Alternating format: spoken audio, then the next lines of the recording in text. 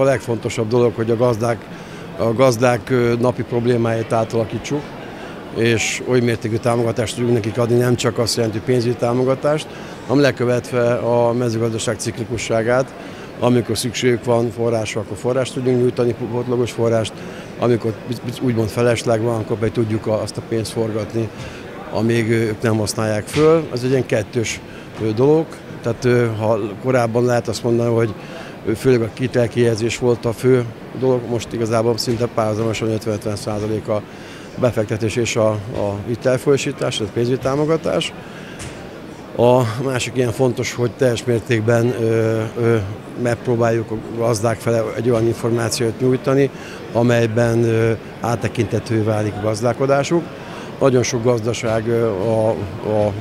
elmúlt 20-25 évben nagyon komoly birtokot hozott létre, tehát nem, szinte nem szeméről beszélünk egy gazdálkodó, hanem egy komplett